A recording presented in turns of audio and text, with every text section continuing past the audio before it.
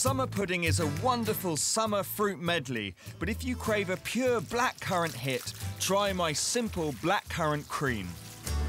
Gently cook black currants with sugar and a little water until soft. Press through a sieve to make a smooth puree. Stir in a few tablespoons of blackcurrant liqueur and put to one side. Heat cream and milk in a saucepan until it's just about to simmer, then remove from the heat. Melt several sheets of gelatin in the cream, then add to the blackcurrant puree.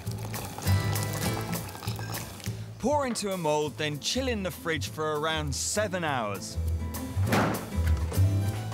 Dip the mould into hot water for a couple of seconds to release the dessert, then turn out onto a plate and decorate with fresh black currants.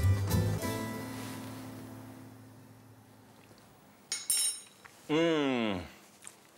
Velvety, smooth, sweet, tart, zingy. Black currants are the best.